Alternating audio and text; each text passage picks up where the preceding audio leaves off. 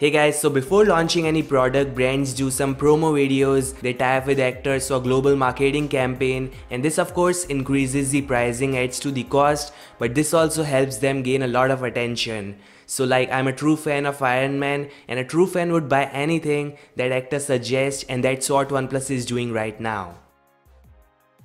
So during a shoot for OnePlus 8 Pro, Robert Downey was captured using the upcoming device which is of course the OnePlus 8 Pro. It's having nearly same design like 7 and 7T Pro but don't get confused there are some minor changes. There's a fourth camera shooter which is likely a macro sensor. There are some camera supporting sensors below that maybe laser autofocus and then we have the LED flash. We also have final case renders confirming this design. So yes, this is it. Curved display with a punctual selfie shooter and same back design like 7 Pro with some minor changes.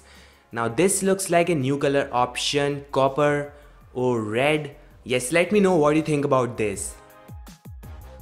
So guys, OnePlus 8 Pro is getting all the fun 120Hz at 1440p wireless charging and also IP68 certification.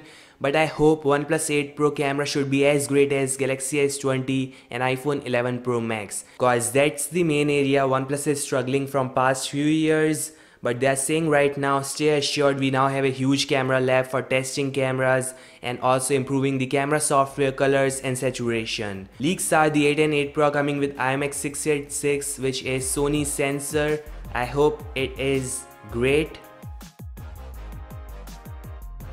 Some final date leak coming in from Max J aka Samsung News, yeah he's pretty reliable. He says OnePlus is launching the OnePlus 8 family which includes the 8, 8 Pro and likely 8 Lite on 15th April. Previously it was March end and then 14th April and finally 15th April. And yes, OnePlus will also showcase the devices and features in a pre-recorded live event. So yes, every shooting and work has been started. The devices are coming really soon. They have been already certified in China, so I think China launch is on the same date like global launch which is 15th April.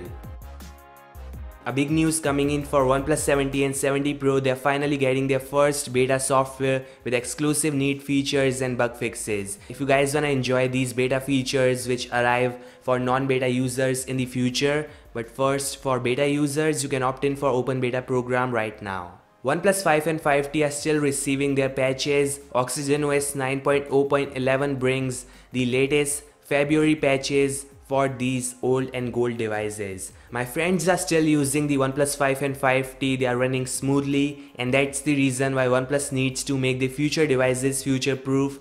Yes, by adding 5G, which you guys say raincoat without rain, but clouds are piling up and one day that rain is gonna come. That's all guys. Thanks so much for watching. Meet you guys in the next one. Peace out.